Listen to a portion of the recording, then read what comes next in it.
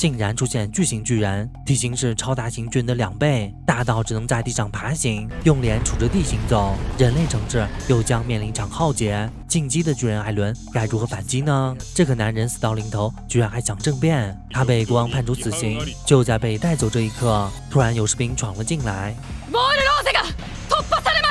众人大惊失色，士兵赶紧汇报战况。海巨和超大巨突然现身，卡拉涅斯区已经沦陷，数万难民正涌入中央王都，高层吓得瑟瑟发抖。军队司令下令集结军队，保护难民撤到中央王都。然而意外的是，高层竟然禁止难民后撤，士兵顿时哗然，啥意思？中央要对数万难民见死不救吗？高层瞬间暴怒，那些低贱的人不值一提，确保中央王都的统治权才是你们这些士兵该做的。士兵听后生气了，这是什么狗屁理论？我们拒绝执行。高层气炸了。紧接着，军队总司令亲率精锐赶来，解释战报是假的，这么做就是要让众人明白中央王都根本不可靠。与此同时，效忠于中央的宪兵团已被成功压制。高层这下慌了，大哥，咱们商量一下行不？结果遭到男人断然拒绝。至于你们，就自求多福吧。高层彻底破防，一脚踢醒了伪王，吓得伪王以为食堂开饭了，高层全被一网打尽。男人政变计划大获成功，阿尔文政变成功的消息很快登上了报纸。韩吉赶忙告诉利维尔，众人欢呼雀跃，这下形势大扭转。众人奔赴罗德领域，营救艾伦和西斯特利亚。韩吉第几件大事？五年前，玛利亚墙被破坏那天，罗德的妻子和五个孩子惨遭盗贼杀害，家族的礼拜堂也被烧毁。然而，没过多久，罗德就将礼拜堂重建。韩吉判断，盗贼只是谎言，真相必定和巨人有关。巨人之力可以传承，只要继承者变成巨人，吃掉巨人之力的拥有者即可。罗德抓走艾伦和西斯特利亚，肯定就是这个目的。那么问题来了，艾伦是怎么拥有近距的巨人的？此刻，艾伦被囚禁在未知的场所，等他睁眼醒来，马上就惊住了，就见他被铁链拴住，固定在高台上，前面有个女孩，竟然是西斯特利亚。艾伦突然感觉到这个场所很熟悉。这时，罗德将西斯特利亚带上高台，两人将手放到艾伦的背上。瞬间，艾伦的记忆力被激活，他竟然看到罗德一家人。黑发女孩咬破手掌，居然也能变成巨人。自己好像抓着罗德的孩子。礼拜堂正在燃烧，紧接着出现了注射剂和小艾伦。下一秒，小艾伦跪倒在地，竟然变成了小巨人，然后就扑向了神秘人。而这个神秘人居然是艾伦的父亲。艾伦愣住了，他难以相信这是真的。西斯特利亚也激活了记忆，他小的时候有个黑发女孩陪伴着他，而他呢，对此竟然毫无。印象，罗德解释，这个黑发女孩是你同父异母的姐姐，叫弗利达。你之所以记不起来，是因为她消除了这段记忆。这种能力原始于始祖巨人。原来弗利达掌握着始祖巨人，但她并未完全驾驭，所以才被艾伦的父亲格丽莎残忍杀害后夺走了力量。格丽莎将罗德一家团灭，唯有罗德侥幸逃生。西斯特利亚很是震惊，他想不到艾伦的父亲竟然这般残暴。罗德告诉西斯特利亚，弗利达还活着，你想见他吗？西斯特利亚顿时激动起来。罗德面露阴狠，从包里取出一管药剂。艾伦马上认了出来，这是可以巨人化的药剂，立刻拼命挣扎，试图阻止罗德。可惜他被封住了嘴，根本讲不出一个字，只能眼睁睁看着。此刻，利威尔等人已经赶到礼拜堂，并找到地宫的入口。凯尼早已布置好防线，就等利威尔来送人头。就在这时，地面被蹬开，火药桶接连滚落。利威尔带头冲锋，沙下发射火箭，点燃火药桶，一声爆炸，遍地都是烟雾，敌人的视野完全被遮挡。趁此机会，利威尔来了圈火力侦查，敌人共有三十五人，双方正式开战。让钻出烟雾，举起钢刀，一击中斩，迎来开门红。科尼空中突袭，一击必杀，结果露出破绽，被敌人逮住了。紧急关头，灵剑袭来，正中敌人心脏，敌人跌入烟雾下线。就见沙夏和二敏负责远程支援，三弟这边呢已经杀疯了，一招环斩绝杀，见人就砍，什么烟雾根本就不需要。韩吉就倒霉了，敌人一发懒神突射，正中韩吉肩膀，韩吉坠落倒地。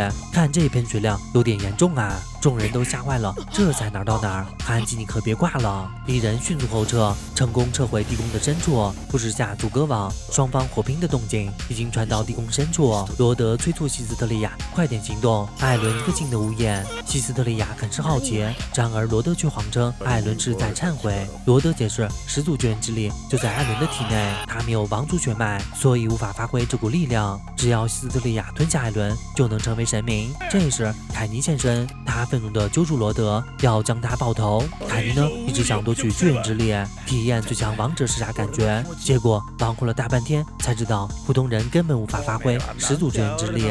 凯尼呢，告诫西斯特利亚：“你所谓的父亲是在利用你，他不想变巨人，就哄骗弟弟和女儿去承担罪恶。现在又来哄骗你，你咋啥也信呢？”西斯特利亚呆住了。然而罗德正在狡辩。不要相信别人。见状，凯尼顿感无趣，简直一个愿打一个愿挨。凯尼直接走人，罗德逼迫西斯特利亚快点行动。西斯特利亚被吓坏了，紧握住注射器，颤抖个不停。就在此刻，他想到一个重要问题：为什么一百年间雷斯家族不反抗巨人呢？罗德无奈道出了真相：初代王创造完墙内的世界后，便立下了不战之约，只固守在墙内，隔绝外界的所有联系。只要后代继承始祖巨人，就会受到不战之约的影响。陷入消极悲观的情绪里，罗德抓住西斯特利亚的手，让大块点注射药剂。突然之间，西斯特利亚想起了尤米尔，尤米尔曾希望他按照自己的意愿活下去。西斯特利亚瞬间觉醒，甩手就将药剂摔在地上。罗德直接暴怒，竟然要揍西斯特利亚。西斯特利亚一记过肩摔，将罗德砸在地上。他拎起小包，果断去救艾伦，掏出钥匙就给艾伦开锁。而罗德竟然上去舔药剂，眨眼间他就变身巨人，骨架简直大到离谱，整个地宫都放不下。西斯特利亚直接被掀飞，要不是三里及时赶到，就得撞墙领盒饭。同伴们相继赶到，急忙拿钥匙解锁铁链。你们为啥不用刀劈呢？罗德体型越来越大，地宫已经撑不住了，光是蹲着就足以毁天灭地。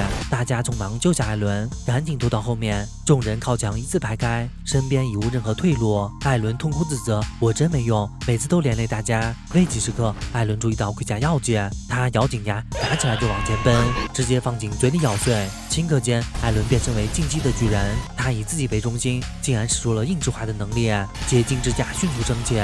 众人都看懵了，这又是啥情况？兵长反应最快，赶紧躲到艾伦身后，地宫就崩塌了，敌人被压倒一大片。艾伦有结晶之甲护体，根本没啥。事儿，阿尔敏和同伴按照利威尔的命令，将韩吉先行带出地宫。前脚刚逃出去，后脚李白堂就塌了。随即，罗德巨人闪亮登场，浑身冒着滚烫蒸汽，身躯足有百米长，只能挪动四肢，白脸匍匐前行。阿尔文正好赶来，看到这一幕都懵了，至少是超大型巨人的两倍大。艾伦成功使出硬质化，救下所有同伴。利威尔很高兴，看来有机会修复玛利亚城墙了。然后就话锋一转。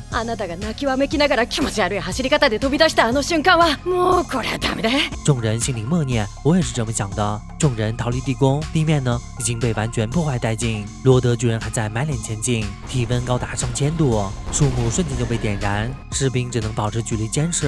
调查兵团成功找到艾伦等人。利维尔讲清楚战况后，艾尔文判断罗德巨人行进下去肯定会撞上奥尔夫德区。众人抵达阿尔夫德区，利维尔向西斯特利亚传递命令：这场战斗结束后，你将继承王位，成为女王。众人无比惊讶，这就成女王了。但西斯特利亚有个条件，准许他参加战斗，亲手终结过去。作战厅内，西斯特利亚走进来，全场士气大振，毕竟是与将来的女王并肩作战。三里还不忘教唆西斯特利亚：当你当上女王，就能揍那个小矮子了。利维尔只感觉后颈发凉。阿尔文进行作战部署，根据士兵报告，罗德巨人已经逼近二十公里外，大概黎明时分就会抵达城墙。驻扎兵团关心居民避难何时进行，没料到艾尔文竟然表示不需要进行避难，就在城外解决掉罗德巨人。他们该如何解决呢？我们下集接着讲。本名叫《进击的巨人》第三季的第五到第八集。本期问题，大家预测一下，罗德巨人会被秒杀吗？还是会打得很费劲儿呢？觉得秒杀的扣三个一，觉得会费劲儿的扣三个二。大家发到评论区哦。这期呢，艾伦成了英雄，又救了大家，硬质化身体的能力太酷了。好了，本期内容就到这了，这是伯乐新频道，大家多多支持，记得点赞、关注和订阅，我们下次见啦，拜拜。